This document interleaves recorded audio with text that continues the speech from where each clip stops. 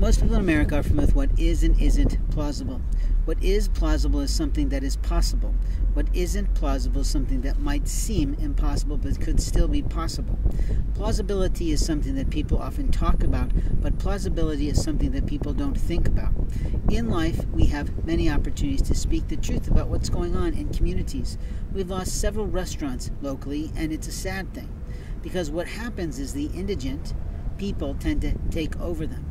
At the present moment, the O'Charlie's here in the community has sort of a derelict girl living there.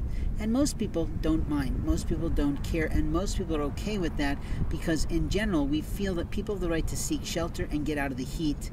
And if you don't have a home because you've lost your way, then we want to make sure that you're safe every day.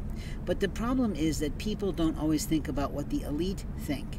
And sometimes the elite think it's not okay most people are kind and don't mind. And the reason they don't mind is because they want people to be kind. But what I'm talking about today is whether or not a person is okay when they're indigent.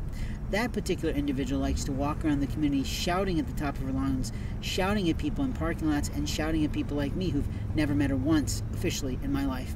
And she's often playing around me and she's literally shouting at me from different spaces. And openly, I don't know that woman at all. I think she's a little mentally unstable, but that's my opinion.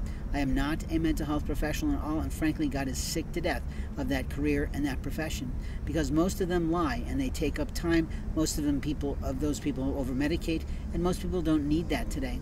What they need is common sense. Common sense about life, common sense about love, common sense about living, common sense about giving, and common sense about serving in our communities today.